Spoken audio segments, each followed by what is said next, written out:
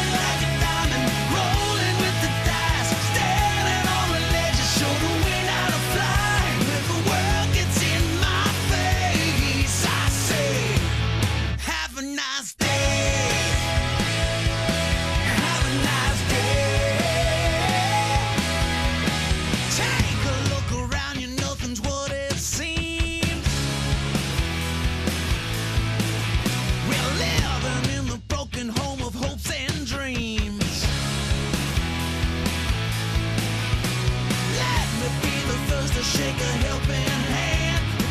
Anybody brave enough to take a stand.